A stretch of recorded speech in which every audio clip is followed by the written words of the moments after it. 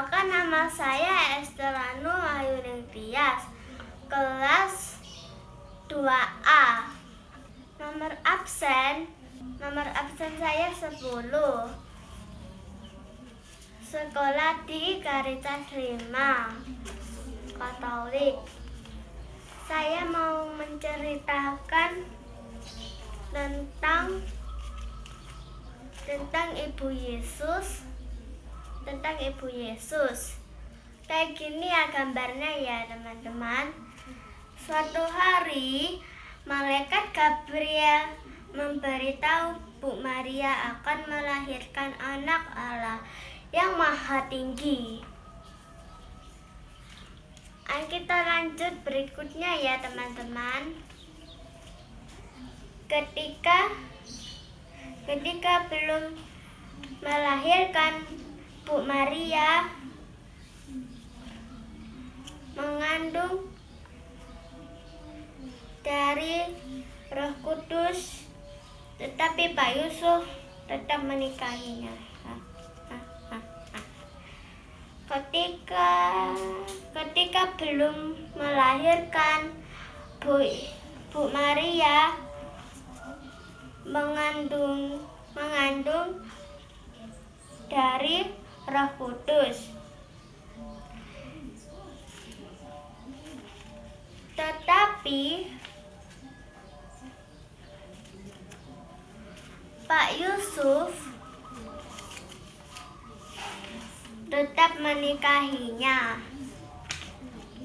Ini ya, Bu, Ma Bu Maria sedang lahir. Teman-teman bisa lihat perutnya Bu Maria.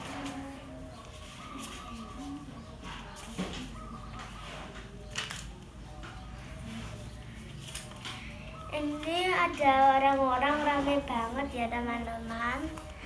Terus ini. Ini ada tentara. Ayo kita baca ya teman-teman.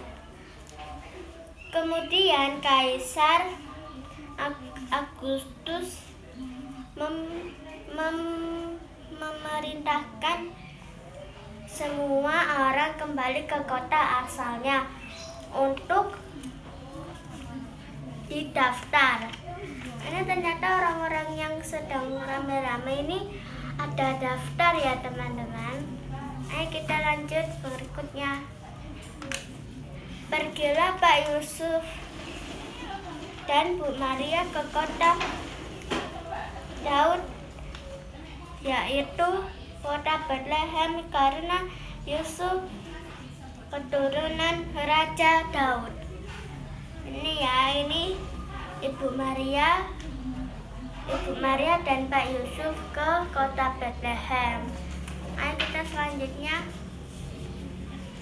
Ketika mereka sampai di kota Bethlehem, Maria akan melahirkan, tetapi semua semua penginapan sudah penuh. Wah ternyata hotelnya sudah penuh ya teman-teman. Ayo kita lanjut ya. Akhirnya mereka menem, menem, menemukan tempat istirahat. Tetapi itu adalah kandang hewan. Kasian banget ya Bu Maria dan Bu Maria dan Pak Pak Yusuf.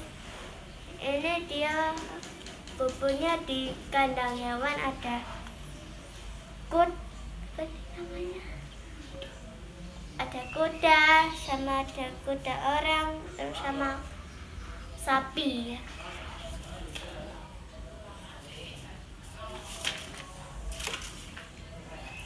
Kemudian Bu Maria melahirkan seorang bayi.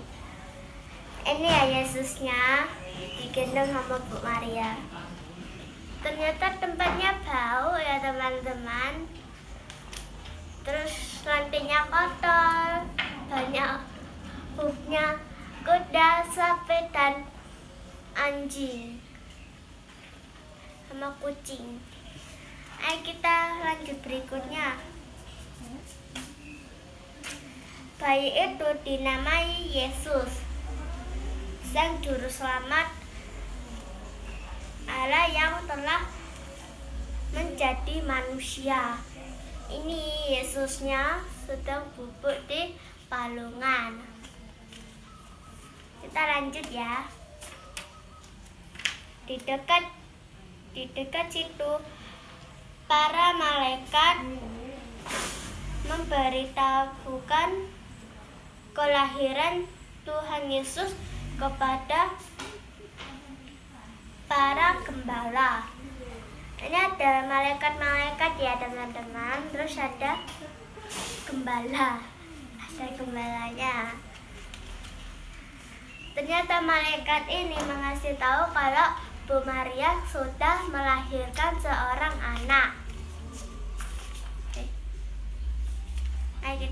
ya.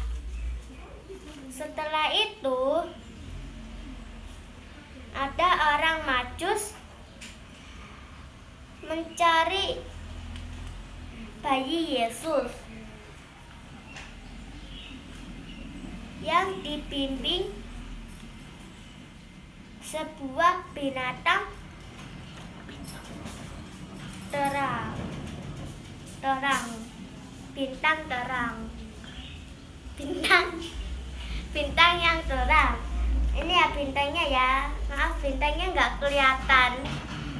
Yang kelihatan cuma awannya saja ya. Ini dia sedang mau berkumpul ke Bethlehem ke kandang hewan. Kita lanjut ya. Orang majus itu orang majus itu bertemu bayi Yesus. Mereka membawa persembahan dan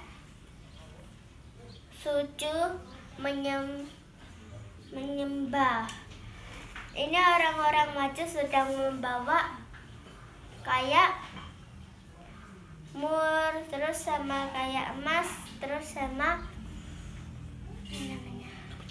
kemenyang. Biar harum tempatnya. Soalnya tempatnya tuh sangat bau dan kotor. Ini mas ini untuk bayar bayar bayar pakaian bayar hotel, dan bayar makan, dan bayar minum.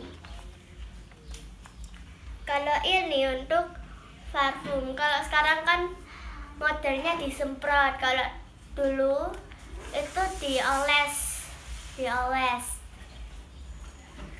Lanjut ya. Kemudian mereka pergi ke Mesir karena Raja Herodes ingin membunuh anak itu. Ini Raja Herodesnya marah kenapa? Karena seorang anak yang sudah menjadi raja, menjadi Allah. Raja ini mau membunuh anak itu.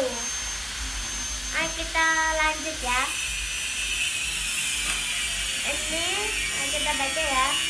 Orang majus itu mempersembahkan emas kemenyang dan mur.